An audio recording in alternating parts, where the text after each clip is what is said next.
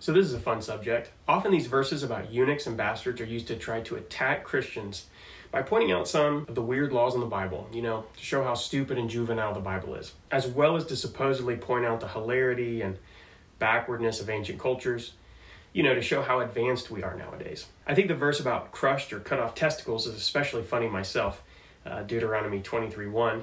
Welcome for that, Jim. Uh, however, when we think about the context, it actually makes a lot of sense. And we see this play out around us in politics, culture, and the new pagan religions popping up.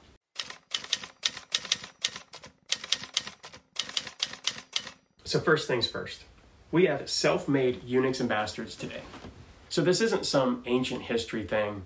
As of the time of this video in America, we have family members writing off and not being a part of their families for the holidays because they're too toxic based off of their political views. They're making themselves bastards. We also have people cutting off their genitalia to pretend to be members of the opposite sex. And this is often by people who think we're so much more advanced than ancient cultures. Someone should tell them about the goddess Attis, whose followers castrated themselves to show devotion. I mean, there were many examples, that's just one, but now we have people castrating themselves again to rebel against God and deciding to worship their own power to remake their identity independent of how God created them, making themselves eunuchs. We decry the laws in the Bible as unnecessary and out of touch, like the ones that say, don't sacrifice children to Moloch, even though we have people doing the same thing, sacrificing babies for their own life satisfaction and, and selfish lifestyle choices. So it looks like we aren't so advanced after all. That's why it's interesting to look at eunuchs and bastards to see why the laws were included in the first place and what we can learn from them. Real quick, hit that subscribe button. Stay part of the conversation as we study the Bible together. Bastards, cut off from the heritage and inheritance of the past. We actually see this in the woke mob quite a bit, but really it applies to anyone who disowns or rewrites their history and heritage in a way that's not truthful. Bastards represent a denial of the past, a, discon- a disconnect from the past, and fundamentally, it's a rejection of the story that God's putting us in. God is a God of covenants, and covenants start with your forefathers. This is especially prominent in American culture right now, where the history that got us here is being analyzed and rewritten. If we rewrite it in such a way that America is the greatest country ever, and even the wrongs committed to get us where we are that uh, are justified, then we're bastardizing the story. And that leads us to reject the need for corporate national repentance and the lessons we could learn from our past. If we rewrite it the other way, in such a way that America is the worst, and no matter the good that's come out of this great nation, and like it or not, America is a great nation, no matter the good that it's done, we need to burn the whole thing down and replace it with something else. Usually, the suggestion for that is something communist or Marxist, replace America with Marxism. But when we do that, then we're also missing the point, cutting ourselves off from a great inheritance. So we see that people untethered to their identity that God has given them and who despise the gifts that God has given them uh, from their history are bastards. Our history is a gift. We should embrace the gift. And if we can't, it's effectively and practically begging for a curse from God. This is so common sense that we all know the saying, or have heard it at some point those who don't learn from the past are doomed to repeat it. Eunuchs, on the other hand, have no tie to the future. So before we jump into that, if you're still watching, hit that subscribe button.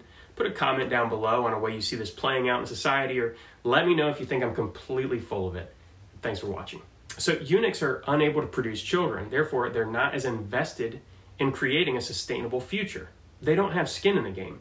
This is anyone who refuses to have children, really, and instead adopts a self centered attitude towards living for now and not caring so much about future generations.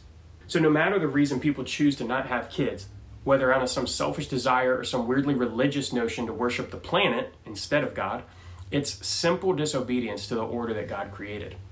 Be fruitful, fill the earth. The earth was made by God to sustain life. One big mistake people make is to oversimplify the Bible by reading it too literally or by not putting it into context. Eunuchs are an example, a type, a symbol. Yes, there are eunuchs. We're reviving the practice in America today. But there are also spiritual eunuchs. It's not just transgender either. It's women who are on the pill their whole life, or men who get a vasectomy without having children.